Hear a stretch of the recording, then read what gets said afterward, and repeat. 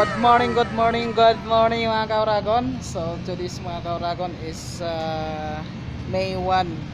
Ngayong May 1 mga kauragon, may uh, isishare ako sa inyong kunting uh, aking ginagawa kung saan na ako lang mag-isa gumagawa ngayon kasi yung kasama ko may ginagawa din sa ibang store. So for today's mga kauragon bago ako magsimula, shoutout ko nga pala yung aking mga kaibigan. Ayan. Hindi kami ka-love shoutout dyan muna sa aking mga kaibigan at mga bagong supporters dyan. Ayan, Miguel love shoutout uh, Nini Vlogs at uh, kay uh, Boss Isel Vlog. Ayan, shoutout din kay uh, Danoy Pacing TV. Ayan, idol. Shoutout na kita. Ayan, shoutout din sa mga supporters ko na nasa USA. Hindi ko na kayo isa-isahin. Basta alam nyo na yun, kayo yun. Ayan.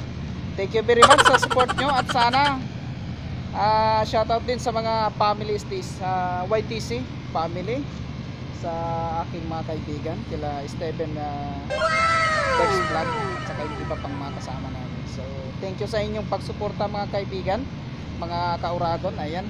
So, for today's mga videos mga kauragon, ang gagawin ko ngayon mga kauragon, ako lang mag-isa.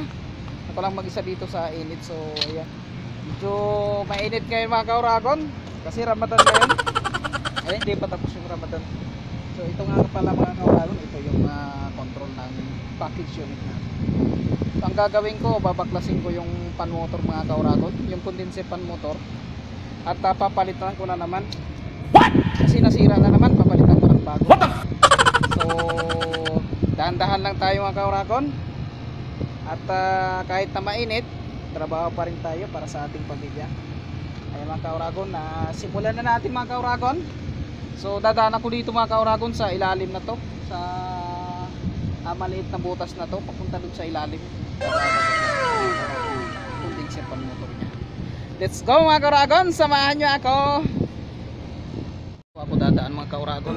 Gunggong! Sa Barinig kita sa mukha eh! Nadandaan tayong papasok dito mga kauragon. Malaki naman itong mga kauragon nyo na ako na to na unit. Ayan siya mga kauragon. So kaya lang medyo masikip dito mga kauragon kasi alam nyo na nandito sa loob ng kwan ko. Ah, condenser. Ayan mga kauragon, ito yung compressor na dalawa, malalaki. 30 ton. So ito mga kauragon, pinutol ko na yung wire. Tatanggalin natin to mga kauragon, papalitan natin ng bago to. Ayan po mga kauragon kung makikita nyo. Yan siya. Bali natanggal ko na yung dalawang screw niya. Pati yung uh, cover niya dito sa taas mga kauragon. Tinanggal ko na rin. So gamit Bahala ka tayo ng buhay mo. ah, Ginusto mo. 17. Yan open. Yung Mga kauragon. So apat na screw yan mga kauragon. Ito. Saka yung kabila niya at saka ito sa baba. Simulan natin mga kauragon. Subukan natin kung hindi siya mahirap. So bali mga kauragon hindi ko mapapakita kung paano ko matanggal kasi walang tagahawak ng cellphone so bali yan lang naman mga kauragon tanggalin natin yan yan apat na yan dalawa dito dalawa din sa kabila so ay mga kauragon na tanggalin ko na muna mamaya ipapakita ko sa inyo kapag natanggal na A few mga kauragon so bali natanggal ko na po siya ayan natanggal ko na po yung apat na screw ngayon na pupunta po ako sa taas doon ko po siya hugutin kasi hindi po ito matanggal dito na panmotor na to kasi may bleed siya So bali sa taas ko po siya huhugutin. So tara mga kauragon, samahan nyo ako. Punta ako dun sa taas ng aircon. Ibabaw. Mga kauragon, lumabas ako galing dun sa unit. Ngayon mga kauragon, nagamit ako ng hagdanan no kasi nahirapan ako makit dito. Oo, baka malaglag ka pa yan. So mas mas mabuti na po yung ah, safety tayo mga kauragon sa ating trabaho. So ito na siya mga kauragon. Ito naman kung gaano kalaki na aircon na to, ayan. Nandito na ako sa taas. Ayan yung ducting niya mga kauragan papunta sa baba. Ito na po siya. Oh, kung makikita nyo, mas maaliwalas na tanggalin dito mga kauragon sa ibabaw. Yan po siya. So, tatanggalin ko na siya mga kauragon at ah, bababa ako.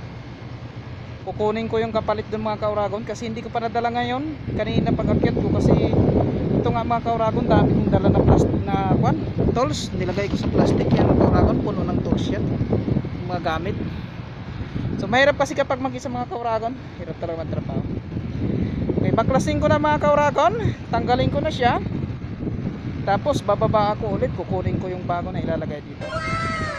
Tara mga kauragon, gawin na natin. Mga kauragon, dinala ko, siya dito, dinala ko na siya dito. Ayan po siya oh. Laki ng pan motor na to. Ayan. Ayan siya mga kauragon. Yung binaklas ko dun sa aircon na yun. Ito yung isang binaklas namin nung nakaraan mga kauragon. Sira din. Hakutin namin yan. Mga sa susunod na araw mga kauragon. Pero papalitan muna namin para itong kwan mga kauragon, itong blade hindi naman sira yan mga kauragon. Saka itong kwan pulley niya sa holder, hindi naman yan sira. So para pag bumili ng bago, yan ulit kakabit natin. Pan motor lang yung papalitan natin. So ngayon mga kauragon, sa sobrang init ngayon. Ang hirap ngayon mga kauragon. So nakita nyo naman oh. Grabe kainit dito mga kauragon. So samahan nyo ako mga kauragon. Bali bababa na ako. Ayan, iwan ko na muna dito yung mga gamit ko kasi babaklasin ko yung ah, ah, kukunin ko yung bago dun mga kauragon at ah, ikakabit ko dyan. Laki ng rooftop namin mga kauragon oh. Makikita nyo po. Ang puro aircon po dito mga kauragon sa building na to. Sa rooftop na to. Puro aircon dito napakadami. So, tara mga kauragon. Kunin natin yung bagong panmotor. A few moments kauragon, later. Nandito na ako sa baba kung saan kukunin ko yung bagong panmotor na ipapalit ko sa binaklas ko. Actually, mga kauragon, ready na to. May nakakabit na doon sa panmotor natin. So, kukunin ko na lang to at ah, isasalpak doon. Bali ito siya mga kauragon. Mga kauragon, bagong bago yung mga kauragon. Yan.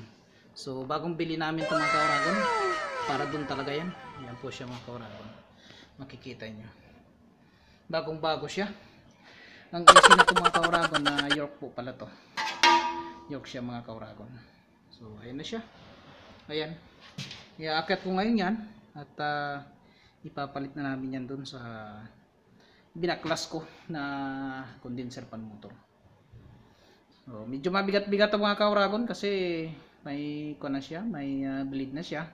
At yung motor niya mabigat. So, papasanin ko lang itong mga kauragon para idala ko dun sa rooftop. Paano masabi?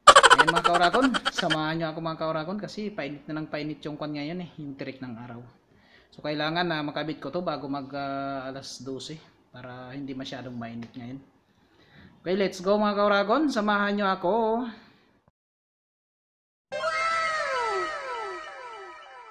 Na nandito na, nakuha ko na yung ah, condenser pan motor. Ang hirap pala mag-isa mga kauragon. Ingal na ingal ako, ang bigat pa naman ang pan motor na ito mga kauragon. Mahirap talaga magtrabaho pag mag-isa. Ayan siya mga kauragon, kung makikita nyo po, inakyat ko na din dito sa taas. Ayan siya. Ayan siya. Ang bigat niya mga kauragon. Ayan. Hiningal ako ng husto at pinawisan ako ng husto. Yung pagkatapos ko tong isalpak mga kauragon, i-scram ko na at uh, paandarin ko na. So ayan muna ang i-share ko sa inyo mga kauragon.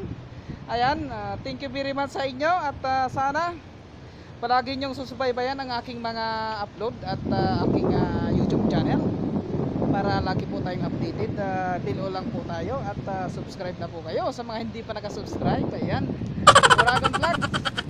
Yan, ikakabit ko na lang po to at paanda rin. Okay na siya mga kauragon. So bali ngayon mga kauragon, ah, hanggang dito na lang muna yung pag ah, ah, video ko kasi malulubat na yung cellphone ko po mga kauragon at ah, medyo mahirap-hirap pa itong gagawin ko. So kailangan ma-fix ko ng maayos, mahigpitan ko ng maayos bago ko siya paandarin at uh, i-connection.